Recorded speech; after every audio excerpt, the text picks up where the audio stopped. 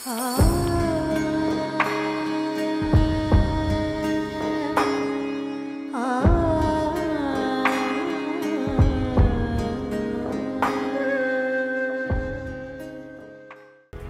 मैं हूँ निवेदिता।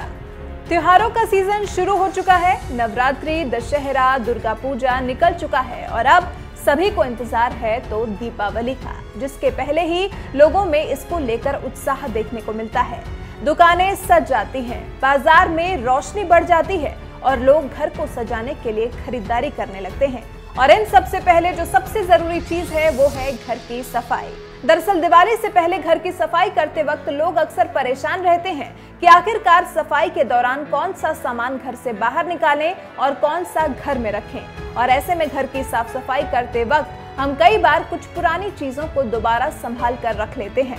लेकिन क्या आप जानते हैं कि इन पुरानी चीज़ों से आपका मोह घर में नकारात्मक ऊर्जा का संचार करता है और सकारात्मकता को कम करता है? यानी इन पुरानी चीज़ों से आपका मोह आपको कंगाली की कगार पर ला सकता है। ऐसे में आज हम आपको बताने जा रहे हैं कि दिवाली की सफ़ाई के दौरान आप लोगों को घर की किन चीज़ों को बाहर का रास्ता दिखा देना चाहिए। घर में किसी भी तरह का कांच टूटा नहीं होना चाहिए, फिर चाहे वो खिड़की का हो या फिर दरवाजे का। बर्तन का सेट हो या फिर आईना। टूटे हुए कांच के सामान को घर में रखने से वास्तु का दोष होने की संभावना होती है और मानसिक तनाव भी इससे बना रहता है। इसके अलावा अगर आपके घर में टूटा हुआ पलंग रखा है, या तो उसे सही करवा लीजिए, या फिर इस दिवाली उसे घर से बाहर कर दीजिए। क्योंकि टूटे हुए पलंग को लेकर मान्यता है कि घर में ऐसे पलंग को रखने से वैवाहिक जीवन में कलह होता है।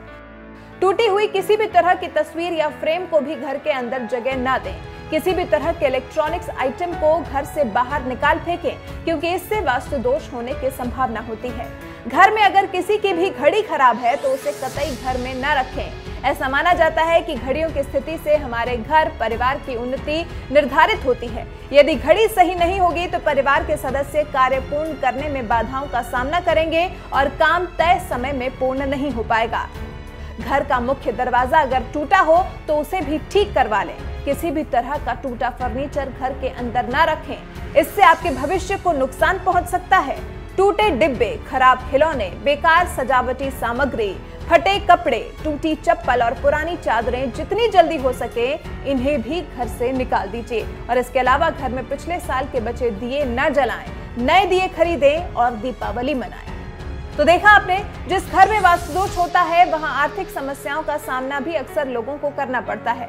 ऐसे में इन चीज़ों को घर से बाहर कर ही घर में दीपावली और धन की देवी लक्ष्मी की पूजा करें, ताकि माँ लक्ष्मी प्रसन्न होकर आपके घर में विराजमान हो।